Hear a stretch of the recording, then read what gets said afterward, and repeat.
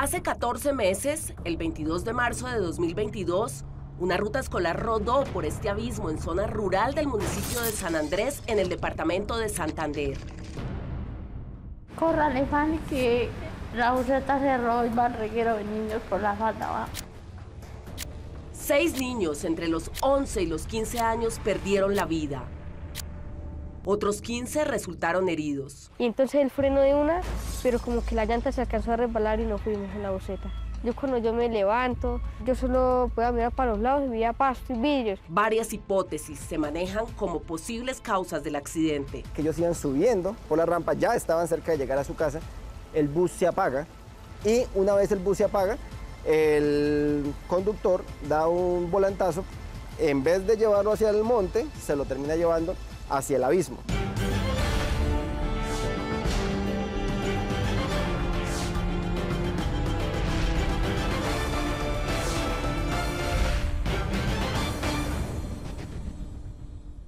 Buenas noches. Hace poco más de un año, en marzo de 2022, seis menores de edad perdieron la vida en carreteras del departamento de Santander mientras se desplazaban hacia sus casas luego de su jornada escolar. Otros 16 niños resultaron gravemente heridos y algunos aún enfrentan las secuelas de esa tragedia. Lo más triste de esta historia es que los niños se movilizaban en la ruta escolar que les había sido asignada ese mismo día. Según el resultado de las investigaciones, hasta ahora ese vehículo no cumplía con algunos requisitos para transportar a los estudiantes.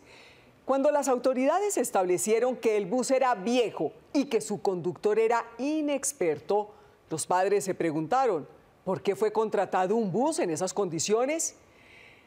Lo que descubrieron los hizo pensar que esta habría sido una tragedia evitable. Así comienza la investigación de Paola Bermúdez.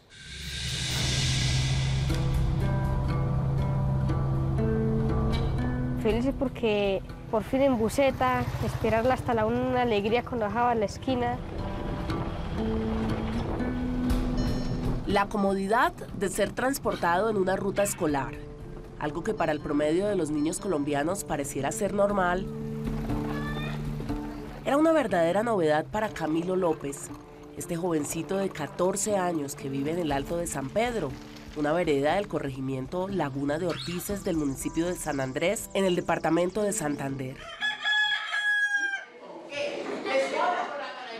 Un acontecimiento que también era nuevo en la rutina de 21 estudiantes campesinos de la zona, que en marzo de 2022 por primera vez se montaron en un bus para ir a su colegio. Erin Lorena Osorio es prima de Camilo y tiene 11 años. Ella también vive y estudia en Laguna de Ortices. Era la primera vez que había buceta, entonces estábamos hablando ahí entre todos. Ellos y sus compañeros de viaje habían sido asignados al bus que cubría las rutas escolares 6 y 7, que debía llegar hasta los lugares conocidos como El Ciral, Alto de San Pedro, El Echal, Alto del Rayo, Ato, Sabana y Laguna de Ortices. Lady Jaimes es la mamá de Julia Stephanie Pedraza. Para ellas, la ruta había sido una solución para poder compartir más tiempo juntas. Estábamos felices porque por fin iba a haber ruta y íbamos a poder tener los niños con nosotros. Yo en mi caso, pues, yo tenía a la niña quedándose allá en la laguna, pero el anhelo de uno siempre era tener los hijos con uno al lado de uno. Antes, cuando no había ruta escolar, Lady solo veía a su hija cada ocho días. Entre el colegio y su casa hay unos 30 o 40 minutos de recorrido en carro. Ella subía los fines de semana. Ella yo la mandaba los lunes y ella y la recogía los viernes. Lo mismo le ocurrió a Rubeira Ávila y su familia. Ellos debían transportar a sus cinco hijos en una moto, así que debían hacer varios viajes para llevarlos a todos al colegio. Y ese día todos, eso todos los papás estamos felices porque claro, ya hay transporte, pues el transporte los recoge y ya uno puede hacer, echarle el desayuno a los animales y hacer muchas cosas. Fanny Jaimes, la mamá de Sneider, Mauricio Jerez y de otras dos niñas también colegialas, compartía la misma alegría. Ellos estaban felices por la ruta. Sí, porque ya no les tocaba echar pata. ¿Cuánto tenían que caminar? Eh, como media hora queda del alto a pie. Ignacio Díaz es el abuelito de Aldair Gómez Díaz, un niño de 12 años que había preferido vivir con sus nonos, como se les dice a los abuelos en Santander, pues no logró amañarse en Carepa, Antioquia, a donde se había ido su mamá hacía un par de años. Ellos también estaban emocionados con el bus para ir al colegio. Imagínense ese día, el desayuno contento, que ya el tío tenía que venir a llevarle a recogerlo, que ya había transporte. Mejor dicho, eso bailaba. El 22 de marzo de 2022, 21 estudiantes del corregimiento Laguna de Ortices por fin vivían la experiencia de irse al colegio junto con sus compañeros.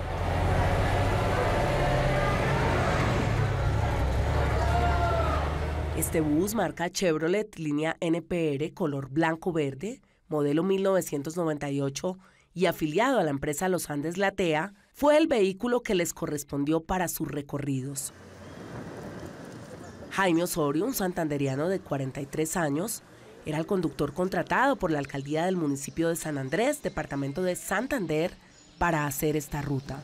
Eso es como el cuento de un sueño que se había hecho con realidad porque iba a trabajar, iba a, a trabajar con, mis mismas niñas, a, llevarlas al colegio, a traerlas. Este hombre, dedicado toda su vida al campo, cultivando café, maíz y plátano, había logrado, a pesar de su poca experiencia en el oficio, el trabajo que quería, como conductor del bus que llevaría a los niños de su sector hasta el colegio. Yo transportaba guanos al, al pueblo, al, al, mercado. ¿Qué experiencia tiene como conductor? Como conductor tengo una experiencia de, de un año. Transportar a los niños lo hacía feliz. Ese día, según él mismo, era también su primer día manejando una ruta escolar. Lo hacía en el bus que recientemente había comprado a crédito y que estaba afiliado a los Andes Latea. A las 4 de la mañana me levanté a mirar el agua, el aceite del carro y ir a empezar la ruta. Yo lo recogí a las 5 y media. Según su relato, Jaime aprovechó el tiempo que le quedó entre las rutas de la mañana y la tarde para seguir con su oficio habitual. Estábamos arreglando un lote para maíz. Yo trabajé hasta las 11 y media y me fui a recoger el bus, a hacer los dos recorridos. Se refiere a los dos recorridos que tenía después del mediodía, cuando los niños ya habían terminado la jornada escolar. A la una de la tarde. Los niños abordaron el bus ahí donde estaba parqueado. Ahí recogí 30, 31 niños. Nos fuimos normal.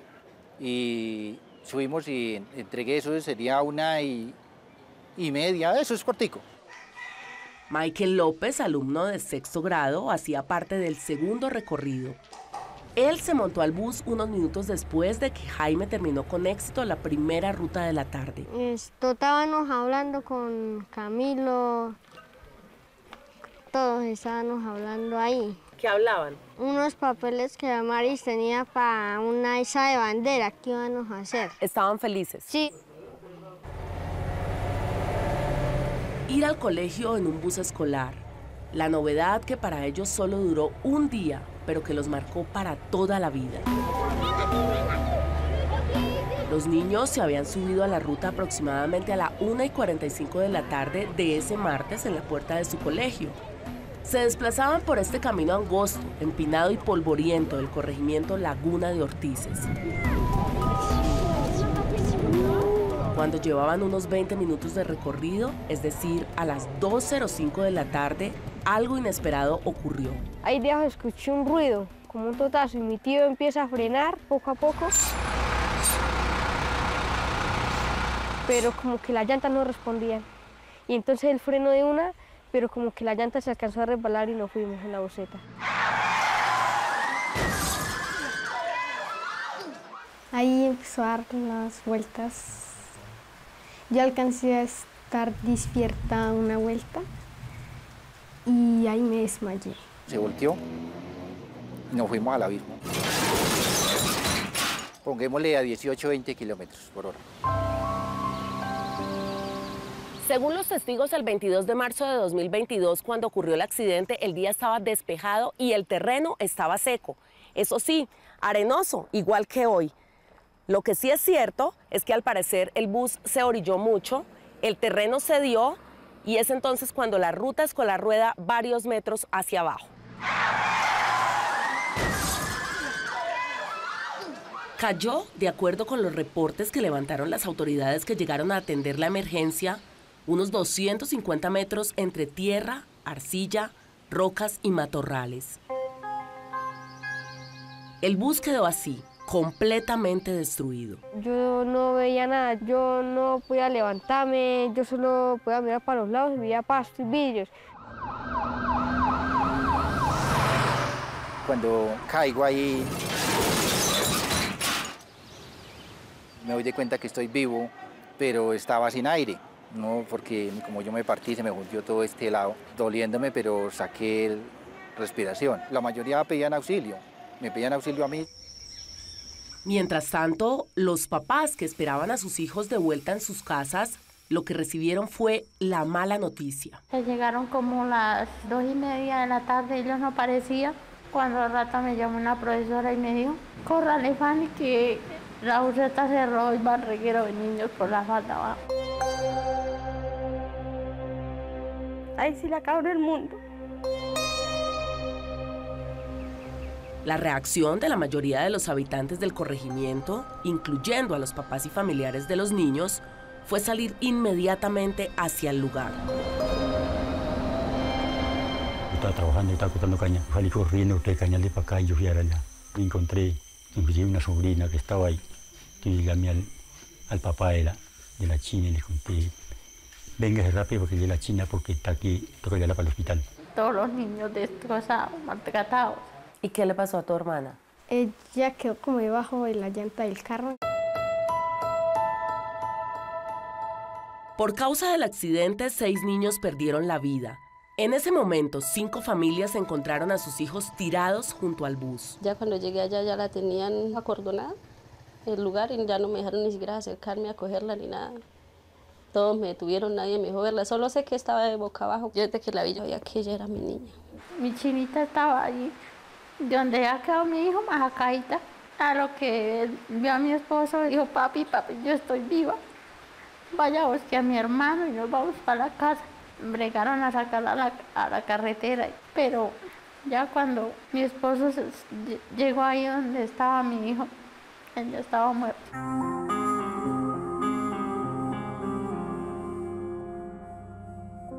Y seguí caminando, caminando. Cuando ya topé un sobrino, le digo Felipe, y este, ya estaba muerto. Ya seguí, seguí caminando, caminando. Cuando ya me topé el nieto, que ese que estaba, mejor dicho, vuelto nada.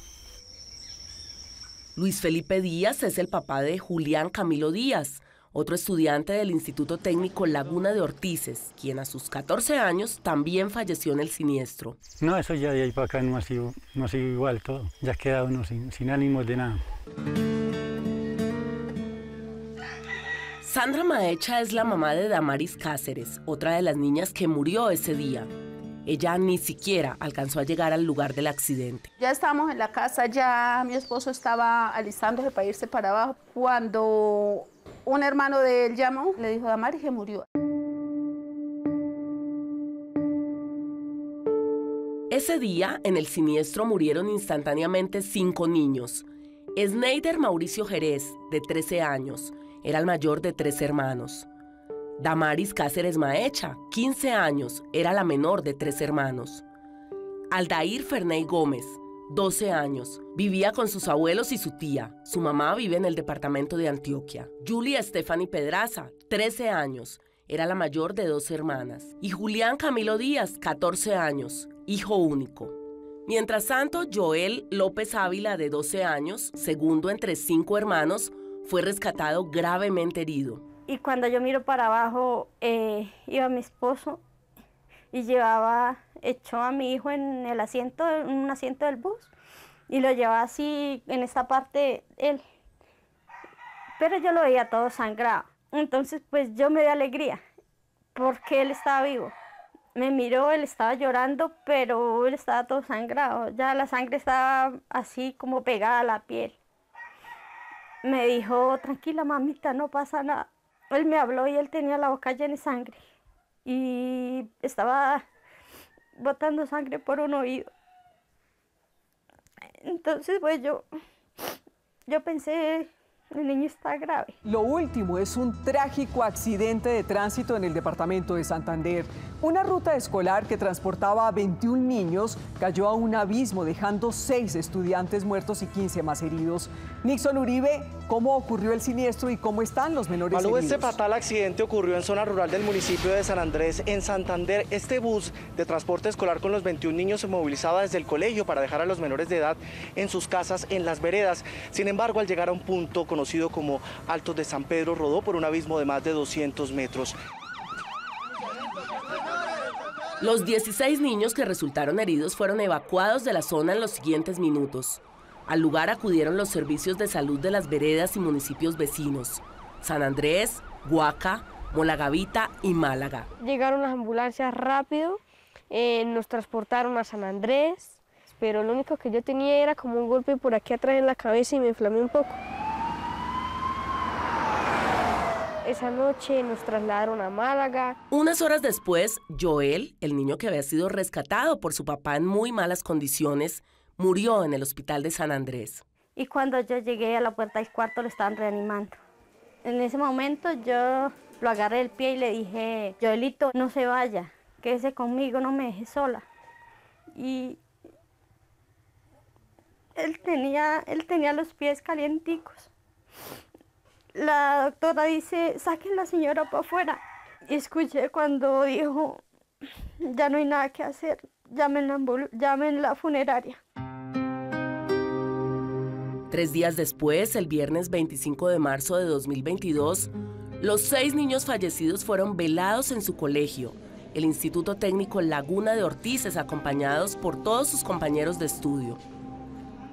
Luego, cuatro fueron llevados al cementerio del corregimiento Laguna de Ortices y otros dos al cementerio de San Andrés. La pregunta que se hacían todos los padres era, ¿por qué se estrelló esta ruta escolar? ¿Cuáles fueron las causas del accidente? Cuando se enteraron de las razones, no lo podían creer. El conductor del bus es señalado por las autoridades por el delito de homicidio culposo, pero ¿cómo demostrar que este accidente que se habría podido evitar podría ser el resultado de posible corrupción? Esa es la pregunta que los padres de los niños fallecidos se hacen. A partir de este momento puede opinar con el hashtag numeral accidente. Regresamos. ¿Hacía cuánto usted había sacado la licencia de conducción? La había sacado seis meses antes.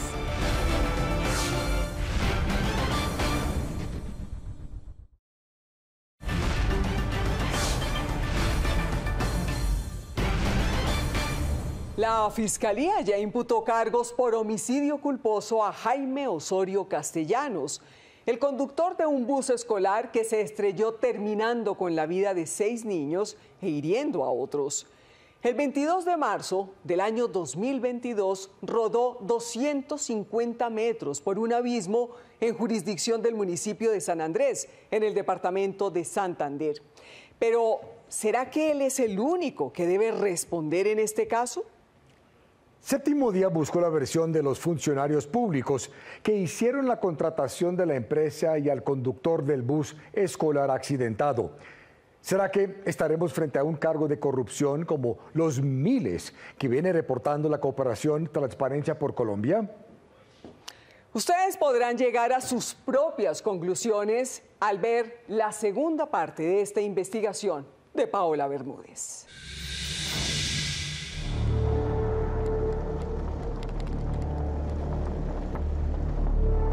Hace 14 meses, en esta vía rural del municipio de San Andrés, en el departamento de Santander, perdieron la vida dos niñas y cuatro niños entre los 12 y los 15 años, cuando el bus que los transportaba rodó aproximadamente 250 metros por este barranco, cuando aparentemente el conductor perdió el control. En este colegio, Instituto Técnico Laguna de Ortices, estudiaban los 21 niños que viajaban en la ruta escolar siniestrada. Ellos salieron hacia el mediodía del 22 de marzo del año pasado por esta puerta para montarse al bus que los llevaría de regreso a sus casas después de su jornada escolar. Varias hipótesis se manejan como posibles causas del accidente. Luis Ferley Sierra es diputado del departamento de Santander. Que ellos iban subiendo por la rampa, ya estaban cerca de llegar a su casa, el bus se apaga y una vez el bus se apaga, el conductor da un volantazo, en vez de llevarlo hacia el monte, se lo termina llevando hacia el abismo. Julia Stephanie Pedraza Jaimes tenía 13 años y cursaba séptimo grado. Ella era mi hija mayor, una de los motores más importantes en mi vida, esa es la verdad.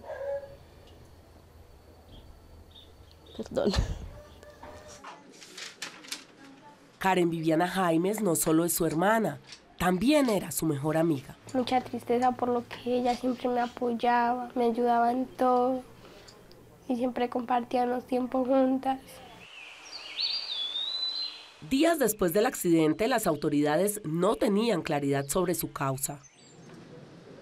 El intendente David Moyano es experto en investigación y reconstrucción de accidentes de la Policía Nacional. Es necesario que se tenga en cuenta lo reglamentado en el decreto 348 del año 2015. Un vehículo no debe superar los 15 años desde el momento en que él fue matriculado. Eh, debe contar con dos salidas de emergencia, un tutor o acompañante mayor de edad que tenga conocimientos en primeros auxilios. Asimismo, todas eh, las sillas deben de contar con un sistema de sujeción, cinturón de seguridad para los estudiantes. El bus del accidente no cumplía con ninguno de estos requisitos. Una norma que las familias de las víctimas no conocían y que los dejó perplejos, entre ellos a Rubeira Ávila. La oseta estaba bien pintadita, estaba bien arreglada por dentro, los asientos. Era cómoda y bonita. Él manejaba, era muy cuidadoso. Él manejaba despacio, bien. ¿Nunca pensaron que tenía muy poca experiencia para transportar niños? No, porque él llevaba gente de acá a San Andrés, hacía viajes y todo bien, todo perfecto. ¿Hacía cuánto ustedes lo habían visto manejando? Hacía que como seis meses. Pero para las autoridades había muchas dudas sobre la capacidad de Jaime Osorio como conductor. Él no tenía mucha experiencia y así lo reconoció él mismo. ¿Hacía cuánto usted había sacado la licencia de conducción? La había sacado seis meses antes. Jaime, en quien se depositó toda la confianza para transportar decenas de niños, solo había aprendido a manejar unos meses antes. Con 12 años, Eric Joel López Jaimes perdió su vida en ese bus escolar. Era un niño feliz, un niño alegre, a la vez era pícaro, bastante pícaro, le gustaba molestar bastante más que todas las hermanas pequeñas. Él era muy creativo, a él no le gustaba que estuviéramos tristes, venía a consolarnos. Fue uno de los mejores hermanos que yo tuve. Su alegría y la de los otros cinco niños fallecidos se apagó, según el diputado de Santander, Luis Ferley Sierra, porque hubo otro hecho determinante en el accidente. La ley exige que los buses de transporte escolar tengan máximo 20 años de uso. En este caso no era así. El bus, el día del accidente, era un bus modelo 1998. Tenía más de 24 años de, de uso aproximadamente en ese momento. Y en ese bus de 24 años en el mercado también viajaba Damaris Cáceres Maecha, una alegre y cariñosa quinceañera. A ella le gustaba mucho la música, el baile también, a ella le encantaba mucho que la llevaran a fiestas. Ese vacío que dejó Damaris y el que dejaron otras cinco víctimas del accidente no existiría si, como asegura Juan Pablo Umaña, un diseñador automotriz experto en seguridad de carrocerías, la alcaldía de San Andrés Santander hubiera exigido un vehículo más nuevo a la hora de contratar el transporte escolar, lo cual era su obligación legal. Si vamos a hablar de, de 1998, los vehículos como se producían y los vehículos del 2012, que sería el vehículo más viejo que aceptaría el contrato en cuestión, hay una, una brecha gigantesca. Su gran diferencia nace en salvaguardar la vida de los ocupantes, más no el vehículo en sí. Esto no se tuvo en cuenta a la hora de contratar la ruta escolar, y Snyder Mauricio Jerez Jaimes, de 13 años, quien murió instantáneamente, fue otra víctima en ese accidente. Él quería ser ingeniero civil, soñaba con construir carreteras mucho más accesibles en el corregimiento Laguna de Ortices, donde vivía. Sí, un niño muy, muy inteligente, con muchas metas de salir adelante. Como en la forma de ser, él era muy atento con todo. Él era hincha del, de Colombia. Me gustaba el vallenato. Una vida que se hubiera podido salvar si todo el proceso de contratación del transporte escolar se hace conforme a la ley y exigiendo las mínimas condiciones de seguridad que deben tener los vehículos que prestan ese servicio. De esa forma, la alcaldía de San Andrés Santander, que actuó como parte contratante, seguramente se hubiera percatado de estos antecedentes que dio a conocer Camilo Pavón Almanza, el superintendente de transporte, en la fecha en que ocurrió la tragedia. La buceta de placas SRY 939 no cuenta con registro de alguna empresa de transporte en particular, no contaba con tarjeta de operación y registra tres accidentes de tránsito ocurridos en los años 2007 y 2008. De haberse valorado esta información de manera previa a la firma del contrato como debió ser, seguramente también se hubiera podido salvar la vida de Julián Camilo Díaz, el hijo único de Luis Felipe Díaz. Tenía 14 años y le gustaba la agricultura como a su papá. No, pues el niño era muy inteligente y todo. Y me, quedo sin palabras ahí. Le gustaban muchas cosas y habían muchas cosas pendientes ahí por hacer no se pudo. Felipe también cuestionó la experiencia de Jaime Osorio, quien manejaba el bus el día del accidente. El conductor pues tampoco no tenía experiencia en- y sí le dieron el trabajo sabiendo que no tenía experiencia para él. Una decisión trascendental por parte de quien lo contrató, el alcalde de San Andrés Santander,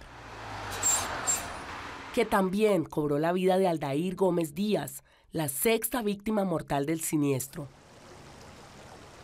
Un niño de 12 años que había llegado hacía tres meses a Laguna de Ortices. Prefería vivir con su nono, a quien admiraba profundamente. Pues él era un chino ahí noble, aparte le mandaba a estudiar, buen estudiante, le todo, cualquier cosa que yo le decía, hac- me hacía caso. Era un ni- nieto excelente, él, él no tenía nada que yo decir de él. Este curtido agricultor santanderiano tiene una teoría sobre la forma como se contrató el bus escolar. Una taja de personas inocentes. Pues de pronto por hacen una plata, por de pronto por hacen ahí unas chichiguas. ¿Estaría hablando de corrupción?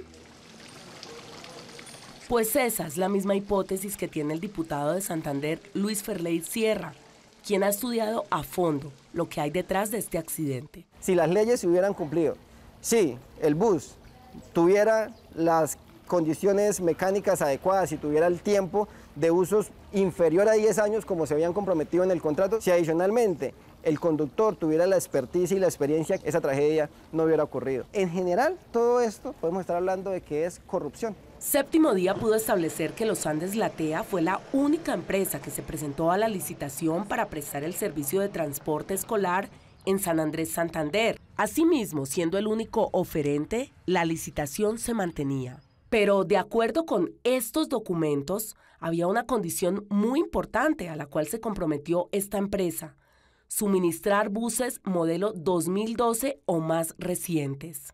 El compromiso del contratista que se gana este contrato era que ellos iban a aportar buses del año 2012, buses con 10 años de uso. Habiendo aprobado este compromiso realizado por la empresa Los Andes Latea, el alcalde Rosenberg Rojas firmó el contrato para el servicio de transporte escolar en San Andrés. Sin embargo, una vez activada la ruta escolar, según los papás de los niños, nadie realizó una inspección.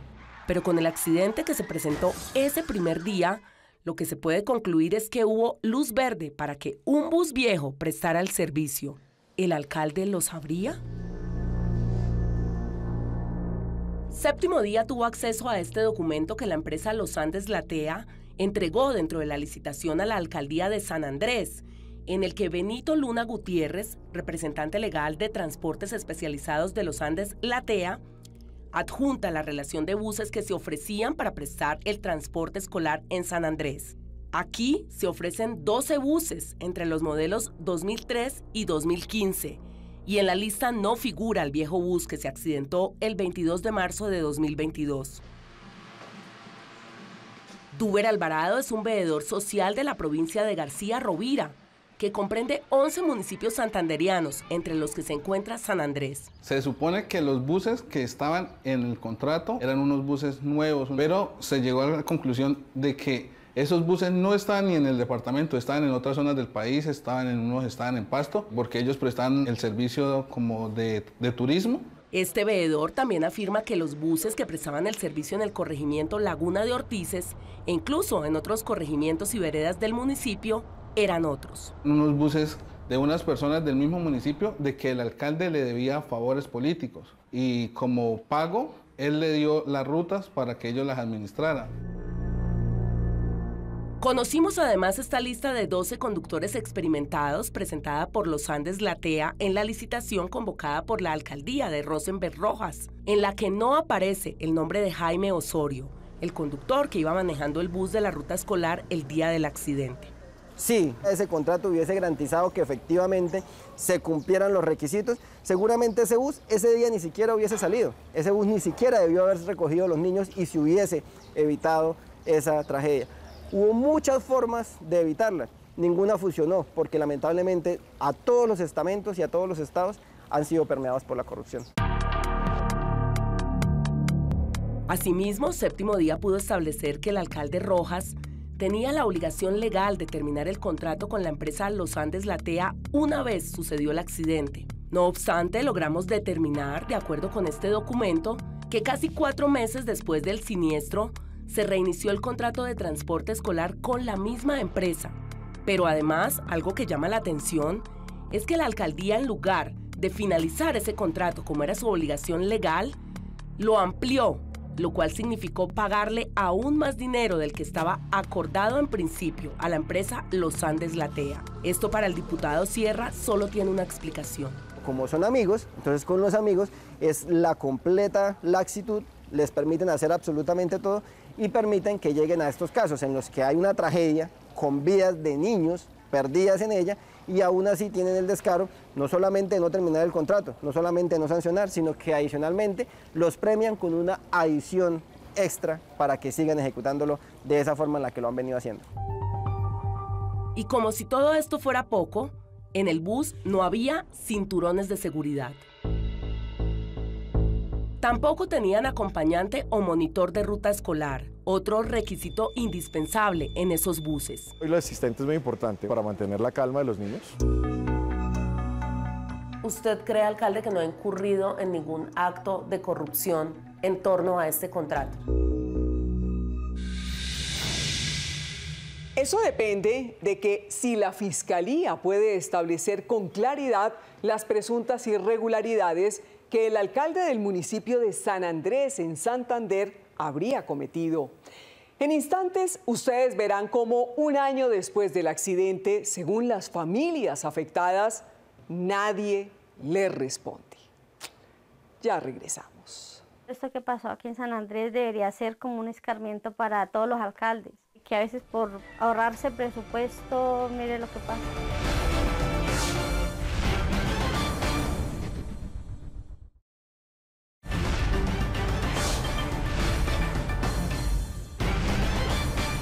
Cuatro personas han sido señaladas por las autoridades como presuntos responsables de la tragedia ocurrida el 22 de marzo de 2022 con la ruta escolar que transportaba a más de 20 niños en carreteras rurales del departamento de Santander. ¿Será que si no hubiera habido irregularidades en la contratación, estas muertes se habrían podido evitar? Se preguntan las familias afectadas. Un año después del accidente son muchas las preguntas que aún están por resolverse. ¿Qué dijo la empresa de transporte que protagonizó esta fatalidad? ¿Es posible que exista una relación directa entre un hecho de corrupción y la muerte de estos niños? Así finaliza la investigación de Paola Bermúdez. Ellos son los seis niños que murieron en el departamento de Santander en marzo de 2022, en un bus que no cumplía los mínimos estándares de seguridad y que era manejado por un conductor novato. Ahora sus familias se preguntan, ¿será que hubo corrupción en la contratación del transporte escolar? Desde el mismo día del accidente, todos los entes de control le pusieron la lupa al contrato. La Fiscalía General de la Nación investiga por qué el alcalde Rosenberg Rojas contrató a la empresa que, según las víctimas, es responsable de la muerte de sus hijos. Hasta el momento, esa entidad tiene pruebas para señalar al alcalde de San Andrés, Santander, por haber firmado el contrato, según ellos, sin respetar las leyes. El día 20 de abril de 2023, una fiscalía adscrita a la Unidad de Administración Pública formuló imputación contra el señor alcalde del municipio de San Andrés Santander, José Rosenberg Rojas Moreno, por los delitos de interés indebido en la celebración de contratos, incumplimiento de requisitos legales y falsedad ideológica en documento público. Dos puntos que la Fiscalía está utilizando para demostrar que en este caso hubo corrupción. Séptimo Día tuvo conocimiento que la Fiscalía tiene en su poder la interceptación de unas llamadas en donde se demuestra, primero, que el alcalde de San Andrés Santander, Rosenberg Rojas, es amigo de Benito Luna, el representante legal de la empresa Los Andes Latea. Dos, que el alcalde tenía conocimiento que la empresa Los Andes Latea presentó documentos falsos en la propuesta que hizo en la licitación. Y tercero, que el alcalde tenía conocimiento desde antes del accidente que esas rutas escolares utilizarían buses viejos. La Procuraduría General de la Nación también ordenó investigación disciplinaria en contra del alcalde Rosenberg Rojas, a quien buscamos para conocer su versión. De acuerdo al contrato, los vehículos deberían ser del 2012 hacia, hacia adelante, modelo 2012 hacia adelante. Este bus en particular es modelo 1998. ¿Qué pasó allí? No, eh, desafortunadamente eh, en los municipios de esta categoría pues no se cuentan con, con los recursos para poder prestar ese servicio como le exige la norma. ¿Pero a usted le parece que esa sea una justificación? De ninguna manera, de ninguna manera. Pero si nosotros contamos con eh, recursos que sean directamente asignados para transporte escolar, nos toca de lo que nos llega para otras inversiones, ¿sí?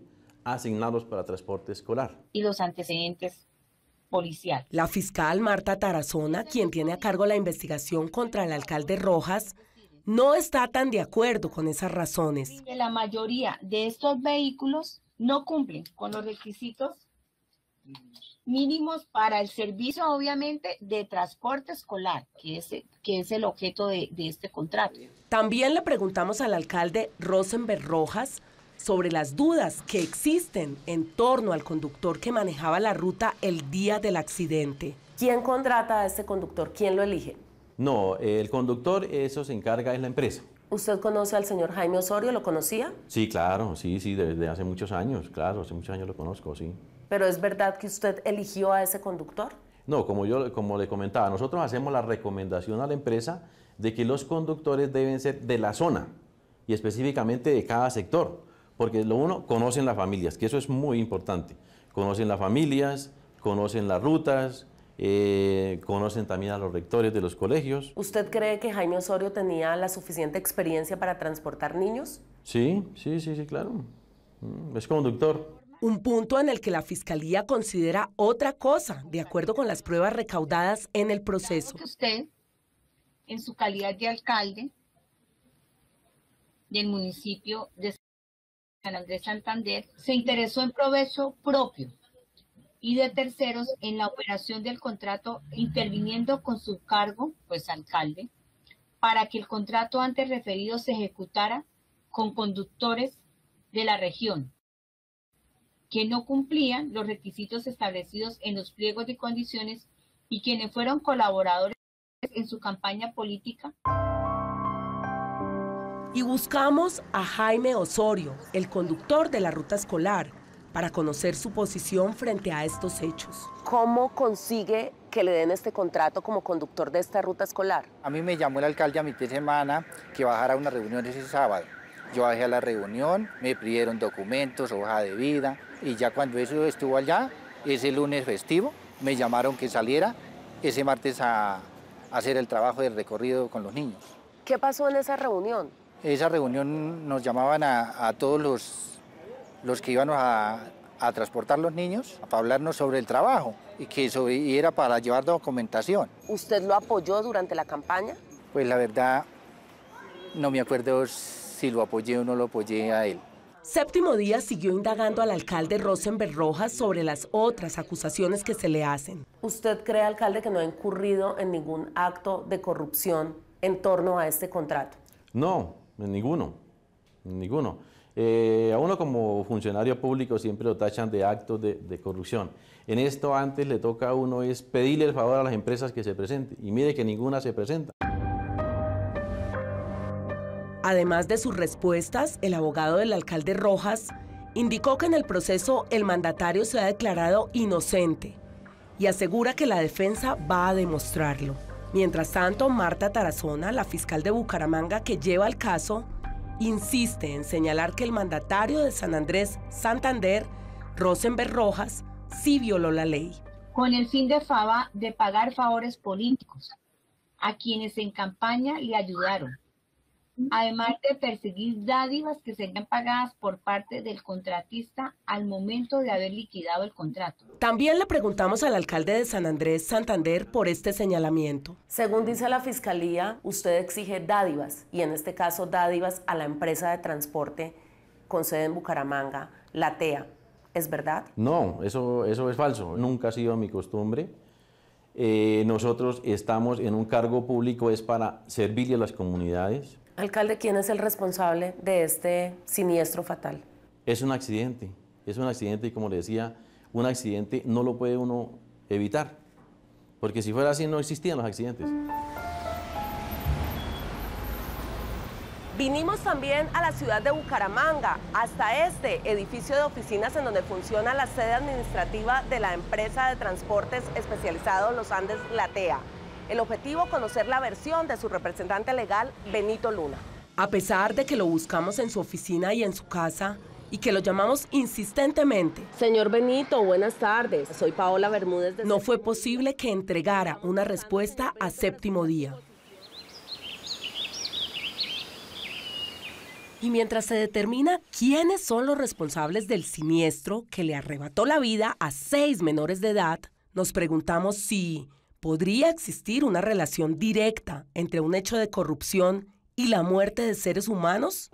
Para Óscar Ortiz, SAR Anticorrupción en Colombia, entre el 2008 y el 2010, con la corrupción se vulneran derechos vitales. La salud, eh, la alimentación, la vida misma, la seguridad. Siempre que hay corrupción, se afecta un derecho. La corrupción no solo roba, también mata. Entre tanto, Andrés Hernández, director de Transparencia por Colombia, reveló unas cifras alarmantes en torno a la corrupción en el país. Encontramos más de 14 millones de afectaciones a personas directas en más de 170 casos de corrupción. Pensamos más en que la corrupción es un crimen económico, es algo que em, dilapida recursos, pero de fondo lo que se está generando es una afectación directa a personas de carne y hueso. Y es esto lo que quieren demostrar quienes han venido haciéndole seguimiento a este caso. Así como las familias de los niños que perdieron la vida en el fatal accidente de su ruta escolar el 22 de marzo de 2022 en el corregimiento Laguna de Ortiz del municipio de San Andrés, en el departamento de Santander. Pero la realidad es que han pasado 14 meses y hasta el momento nadie les da una respuesta a los padres de las víctimas fatales. Rosenberg Rojas sigue siendo el alcalde de San Andrés Santander y Benito Luna continúa siendo el representante legal de los Andes Latea. Las dos partes, según la Fiscalía, siguen celebrando contratos. Esta propuesta correspondería a uno que se habría firmado en enero de este año sobre el alquiler de un carro para los desplazamientos del alcalde Rojas. Mientras tanto, estas familias están rotas. Aún no encuentran una explicación a lo ocurrido y lo único que los consuela es saber que ahora tienen seis ángeles en el cielo. Que acepten que se equivocaron. Y como vuelvo y digo, que no se vuelva a repetir los mismos errores que ya se cometieron. Tratar de hacer lo correcto.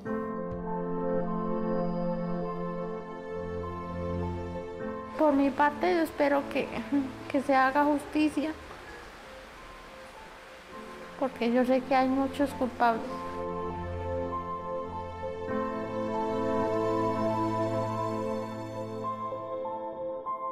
Esto que pasó aquí en San Andrés debería ser como un escarmiento para todos los alcaldes, que a veces por ahorrarse presupuesto, mire lo que pasa.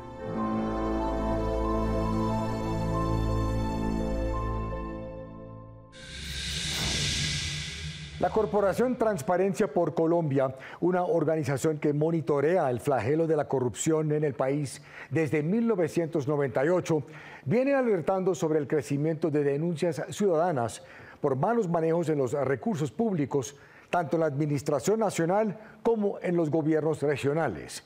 Según sus investigaciones, más de 14 millones de personas han sido afectadas por hechos de corrupción ocurridos aquí en Colombia entre el 2016 y el 2020. Ahora un avance de lo que verán el próximo domingo aquí en Séptimo Día. Desde El Salvador y Colombia, Séptimo Día les presentará un especial de dos programas para conocer cómo enfrentan la criminalidad y quién estaría ganando la guerra contra la delincuencia en estos dos países. La primera parte será en El Salvador, un país que hasta hace poco tiempo era dominado por las pandillas. Incluso conocí a un muchacho de que por un recibo que llevaba lo mataron, solo por ese recibo que era de otra colonia. Era un poco complicado porque para poder entrar tenía que saber uno primero dónde se iba a meter. El homicidio en este país tenía 97% de impunidad. Millones de ciudadanos sentían que, al igual que en Colombia, el gobierno perdía la batalla contra la delincuencia. Lastimosamente, aquí donde vivimos era considerado una zona roja. Daba miedo salir a las calles en la noche. Pero algo ocurrió con la llegada de Nayib Bukele al poder. Y si no limpiamos nuestro país de ese cáncer, ahora, ¿cuándo lo vamos a hacer? El presidente estableció un régimen de excepción que permitió cambiar las leyes y capturar a más de 68 mil personas señaladas de pertenecer a las pandillas. Estuvimos en algunos operativos. En este momento están ellos dentro de una casa tratando de verificar, ahí vienen, y no sabemos si algo pueda ocurrir aquí.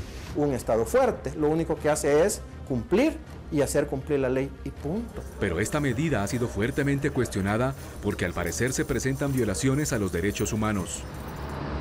Aunque El Salvador tiene una población de solo 6 millones de habitantes y Colombia supera los 50 millones y el fenómeno de la criminalidad es distinto en ambos países, ¿será que el régimen de excepción de El Salvador se puede convertir en ejemplo para el mundo, incluso para Colombia? Soy Juan Carlos Villani y desde el SECOT, el Centro del Confinamiento al Terrorismo, los invito para que no se pierdan esta investigación el próximo domingo, aquí en Séptimo Día. Si tiene una historia que contar o una denuncia que hacer, escríbanos en la dirección que aparece en pantalla. También me puede escribir a mí la dirección también aparece en la pantalla. Si quieren revivir el capítulo completo, lo pueden hacer a través de www.septimodia.co o en nuestro canal de YouTube, Séptimo Día Caracol. Gracias por acompañarnos. Nos vemos aquí el próximo domingo, Séptimo Día.